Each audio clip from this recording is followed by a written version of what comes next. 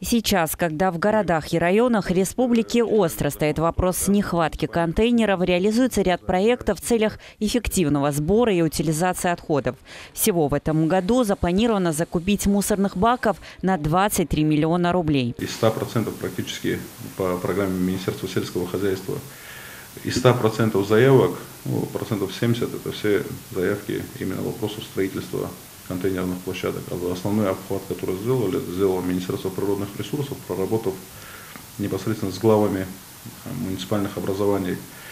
следующий год мы планируем также и увеличить Проблема трудовой занятости осужденных для УСИН остается актуальна, так как сейчас в производстве задействованы только 40% осужденных. Более тысячи человек остаются незанятыми ввиду отсутствия заказов. У нас есть свое профессионально-техническое училище, девяти специальностей мы обучаем, в том числе профессиям сварщик, профессиям, как у нас в республике тоже это актуально, обувщик – и другим также специальностям. Заключенные исправительной колонии номер два изготовили пробный образец контейнера для мусора и предоставили его для проверки качества. Контейнеры, произведенные в колонии, были признаны лучшими по цене и качеству. На сегодняшний день вот у нас э, организовано взаимодействие с разными министерствами ведомств. Это Минтруд, Минобр, э, Министерство экологии. Ну, на сегодняшний день Министерство экологии как бы по объемам стоит на первом месте. И планируем загрузить наши производственные мощности а, в плане трудоустройства, да, это опять же социальная функция, это ресоциализация осужденных,